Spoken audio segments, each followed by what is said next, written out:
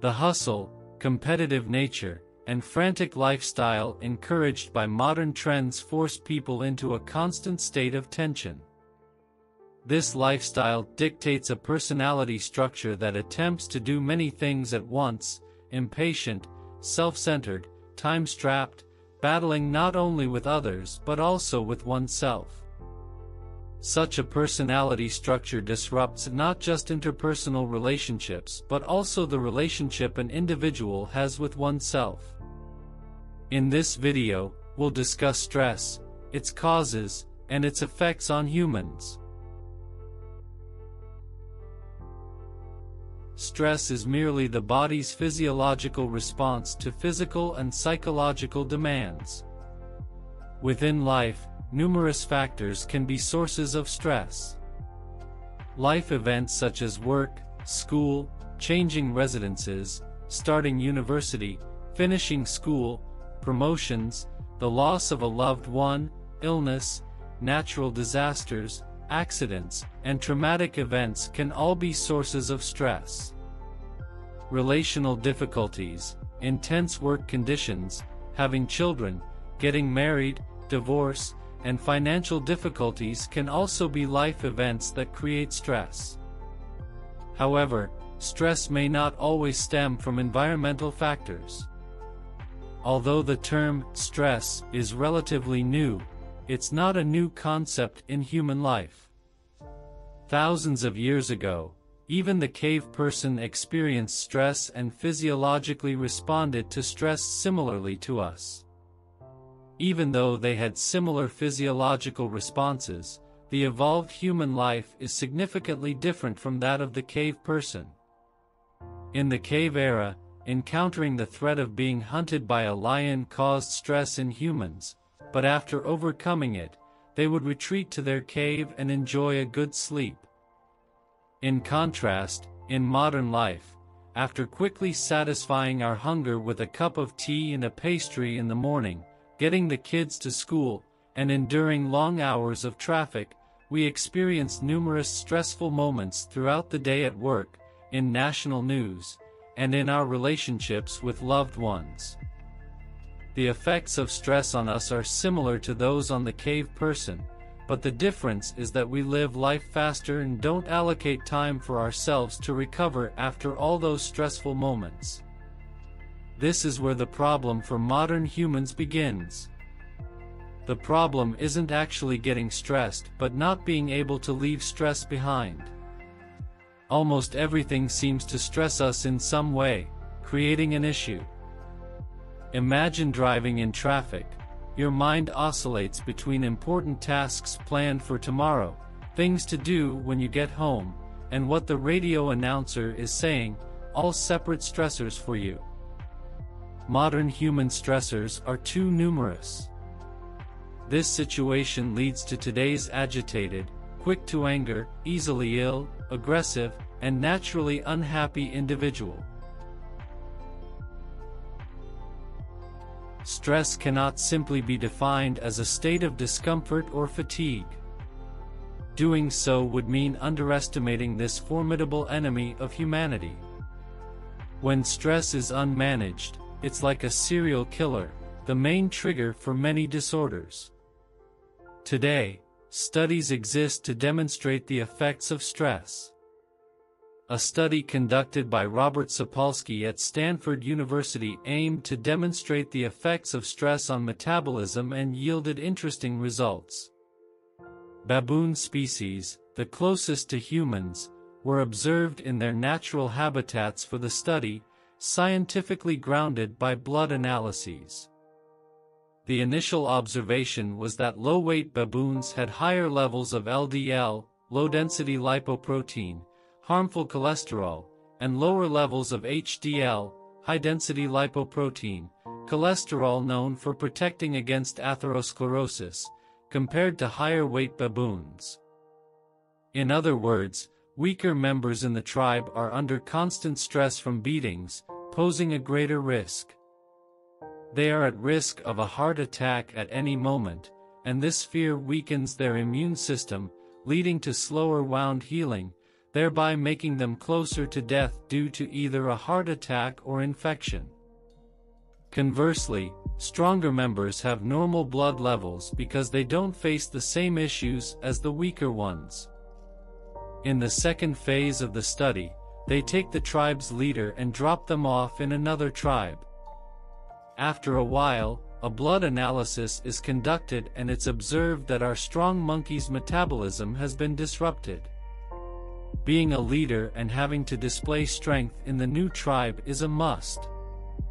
This stress leads to an increase in LDL, a decrease in HDL, and a weakened immune system.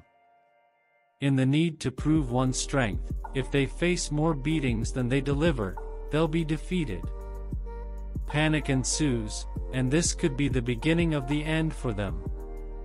Meanwhile, this new addition, the brawny baboon, is also disrupting the tribe leader's system. Feeling the threat of losing their position, they're intensively experiencing stress, potentially causing them to fall into a secondary position. As the leaders continue their feud, even the most neutral members of the group experience disruptions in their blood analyses. The chaos in the environment leaves the weak members unable to decide whose side to take.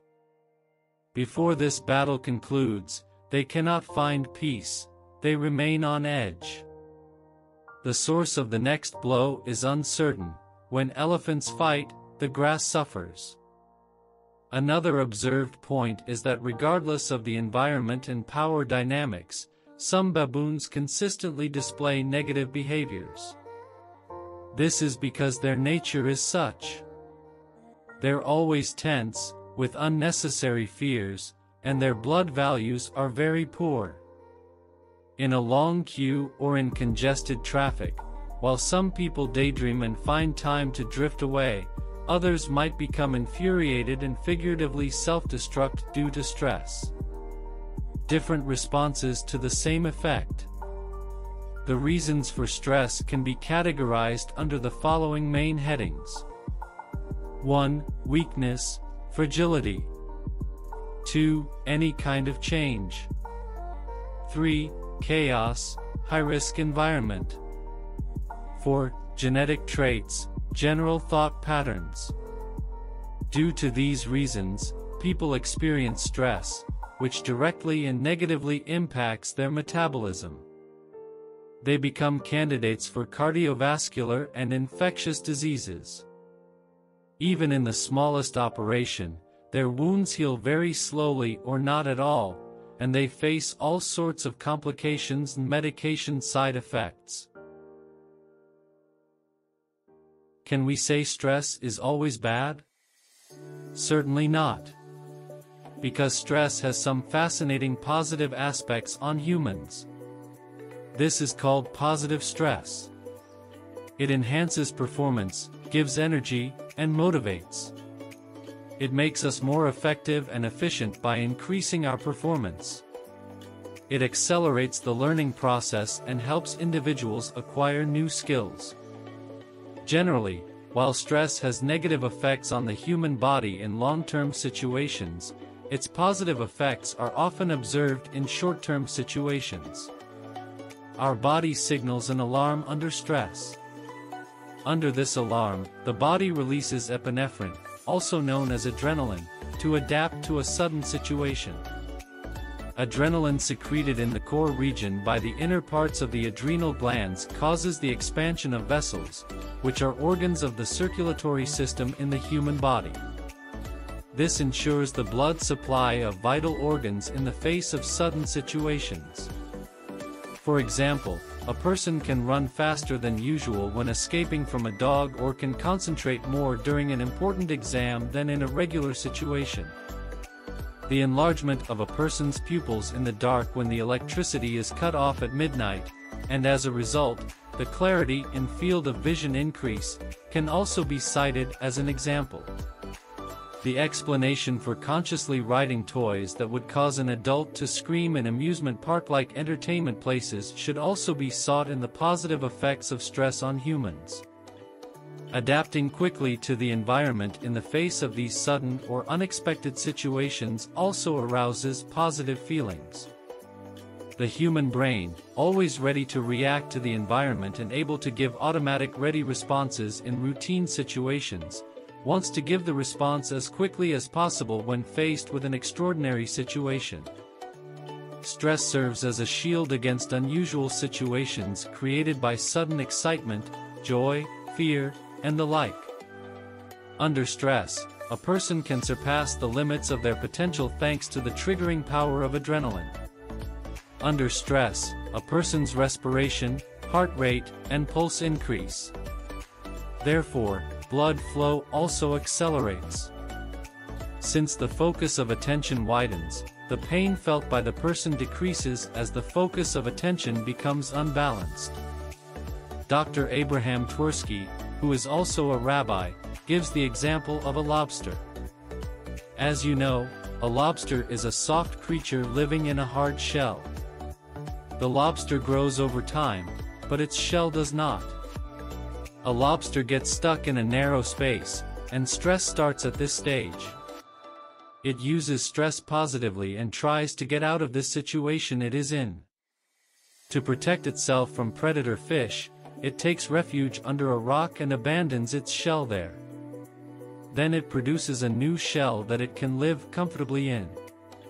Eventually, as the lobster grows inside its comfortable shell, it begins to feel uncomfortable again and has to go through the same process. The triggering mechanism that allows the lobster to grow is nothing but its feeling of discomfort. In other words, stress. If lobsters had a doctor, they would never grow. Because as soon as the lobster feels uncomfortable, it would go to the doctor, the doctor would give it medication, and the lobster would feel good. It would never take off its shell. So, we need to realize that stressful times are also a sign of growth. If we use difficulties correctly, difficulties can make us grow. In summary, a stress-free life is not possible. As humans evolve and develop, stress always follows us.